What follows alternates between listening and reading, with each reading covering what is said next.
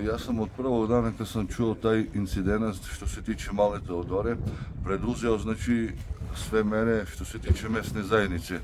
Дошо сум родителите, значи он ма сам бил со оцем, затражио тренутну помош из локални самоуправи, на разговор сам бил значи со господином Цоличем, zamjenik gradonačelnika. E, Ljudi su naravno preduzeli sve mere, prebacili su pare Centru za socijalni rad. Centar će da prebaci e, svrhe novca na, njihov, na njegov žiro račun. Bili smo zajedno, otvorio sam mu žiro račun e, u poštensku štedionicu.